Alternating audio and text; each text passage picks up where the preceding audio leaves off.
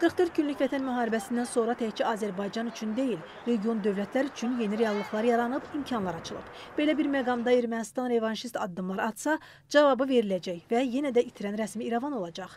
Azərbaycan prezidenti İlham Əliyev ötən gün Ada Universitetində bütün bu məsələlərdən irəli gələn bir sıra məqamlara toxunub. Burada biz Ermənistanın vətəndaş cəmiyyətinin daha fəal olmasını gözləyirik. Çünki bu gün Ermənistanda nə hökumət, nə də müxalifət Azərbaycan haqqında nəinki müsbət, heç neytral fikir söyləmə iqtidarında deyil.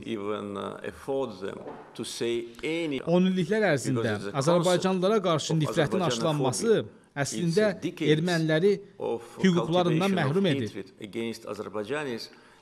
Ancaq hesab edirəm ki, onlar özlərində cəsarət tapmalı. Erməni xalqına həqiqəti söyləməlidir. Müharibə artıq tarixdə qalıb.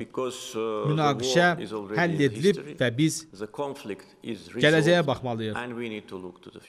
Xüsusilə də Ermənistan rəhbərliyinin gənc nəsli digər ölkələrə qarşı yeni ərazi iddialarına kökləməsi pislənilib. Beynəlxalq münasibətlərin təhlili mərkəzinin şöbə müdiri Fuad Çıraqov hesab edir ki, bu cür keyfiyyətlərin Ermənistana xas olması məlumdur. Amma qarşı tərəf anlamalıdır ki, belə siyasət yürütməklə heç nəyə nail ola bilməyəcəklər. Çox təəssüflər olsun ki, erməni xalqına bunu ə, kənar qüvvələr ə, ə, izah etmirlər ermənilərin elə bu cür ə, milli qatı milliyyətçi düşüncəsini ə, istismar edirlər. Erməni dövlətini onlar Ermənistanda yaşayan insanların rifahı üçün deyil, özlərinin ə, belə deyək ki, hansı geosiyasi maraqları üçün ə, istismar edirlər. Ermənilər də ki, kifayət qədər hələ müdrikləşməyiblər ki, həmin o oyunçuların o oyuncağına ə, belə deyək ki, çevrilməkdən imtina etsinlər. Ermənistan tərəf gəncləri revanşist addımlar atmağa cəlb etməkdənsə, strateji layihələrə qatılsınlar. Gözlərini yaxşı-yaxşı açaraq reallıqları bir daha nəzərdən keçirsinlər. Fuad Çıraqovun sözlərinə görə regionda önəmli strateji əhəmiyyətə malik olan Zəngəzur dəhlizinin imkanlarından onlar da yararlana bilər. Eləcə də bu Ermənistanın özünə də ə, xeyir verə bilər.